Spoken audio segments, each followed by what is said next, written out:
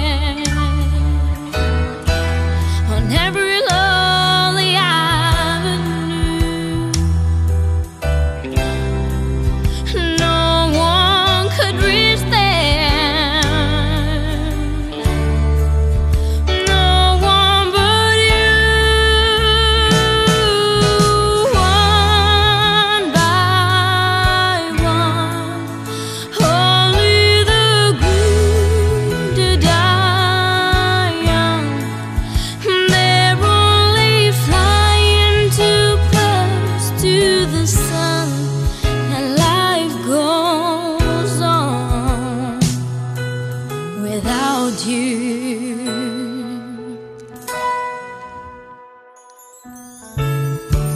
Another tricky situation.